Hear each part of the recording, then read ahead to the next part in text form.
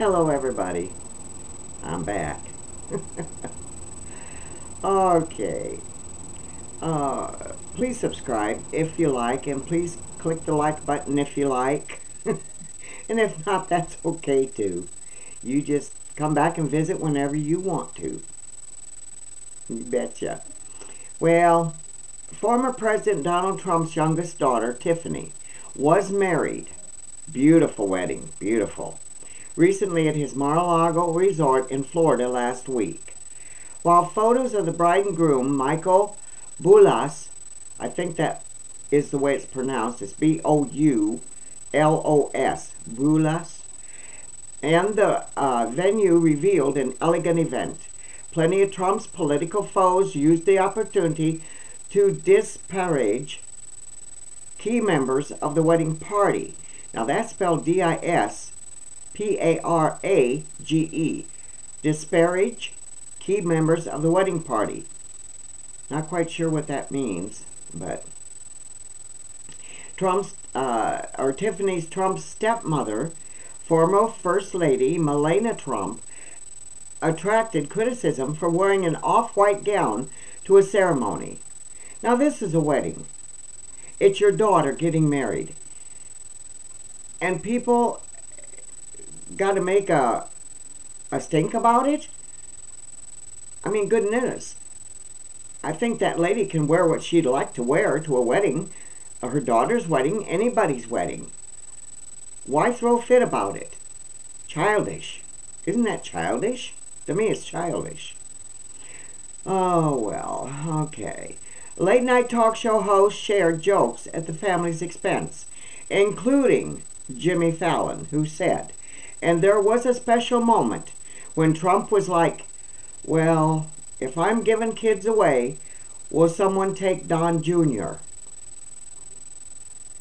Perhaps the most widely panned, P-A-N-N-E-D, panned critique, C-R-I-T-I-Q-U-E, criticule, came from political commentator Ana Navarro, a co-host of ABC's The View.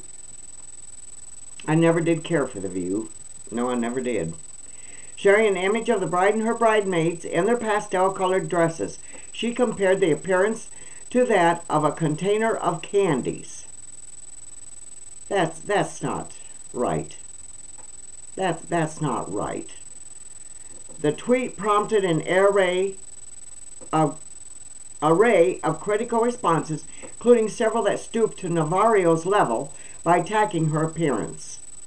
Childish. Several of the disapproving responses, however, denounced her use of a wedding to score cheap political points. Yeah. And that don't make her look good at all, does it? No.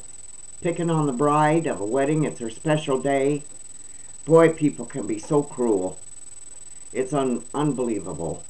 Con uh, conservative writer Chad Felix Green, for example, tweeted, People don't realize how small, petty, and bitter they reveal themselves to be when they do this over the celebrations of political rivals.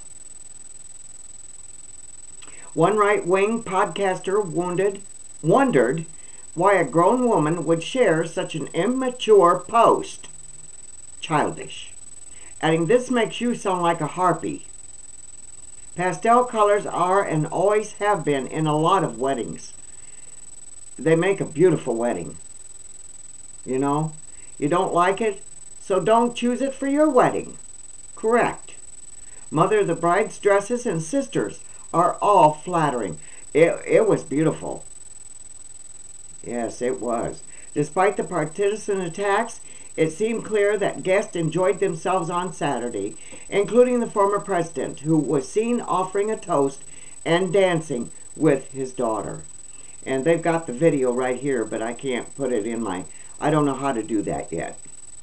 And it seems like I can't get no help because I don't understand half of what I read when you go to these sites that are supposed to tell you what to do and how to do it, but they go through it so fast it's like they're on a, a racetrack. You know? they need to learn to slow down, but they're young. I'm slow because I'm old, but I enjoy it.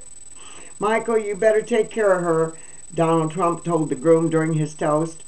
No doubt you are a special person and you are way beyond your years. I've seen him dealing with very big people. You are just too two spectacular people, and this was a beautiful day. As for the fact that the inclement weather missed the venue, he added, I think it's em- emblematic, emblematic of you and your life, and we are very proud of both of you. Have a great life together. I think that's awesome. Wedding days are very special. You know, it, it's terrible that people have to be so negative over a positive situation. It's just unreal.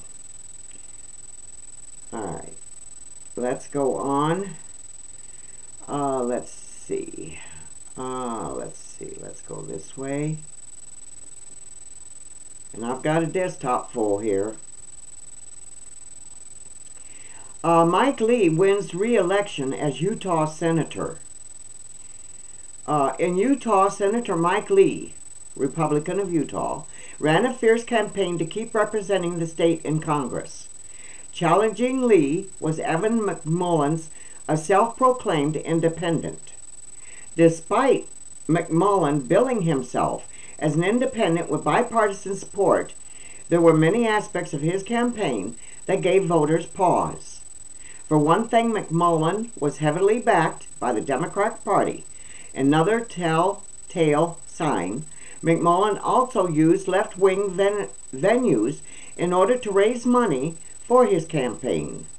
Lee, on the other hand, won the support of most conservatives.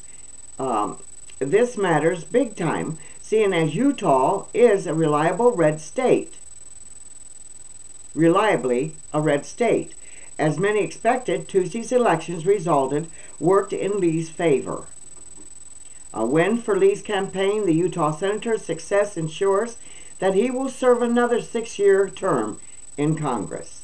Lee prevailed over McMullin despite the latter repeatedly spreading lies and conspiracy theories about him. Stab him in the back.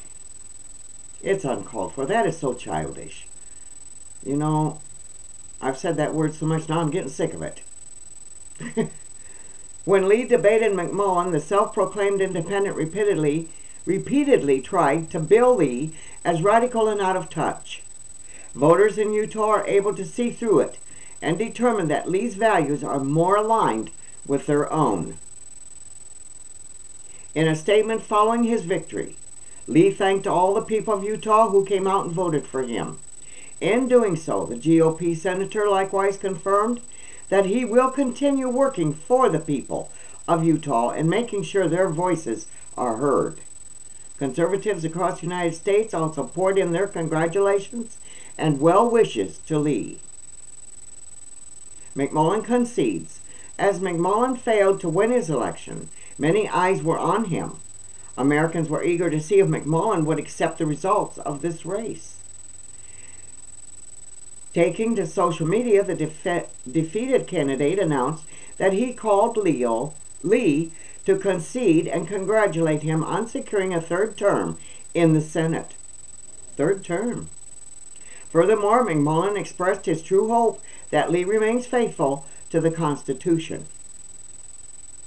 The Independent then wrapped up his remarks on social media by thanking Utah voters who did support his campaign. McMullin like other defendant candidates who ran against Republicans, then expressed that the fight remains ongoing. Lee's victory over McMullin comes amid hard work by conservatives to take back the Senate. Congratulations. Congratulations actually to all the winners of the midterm elections.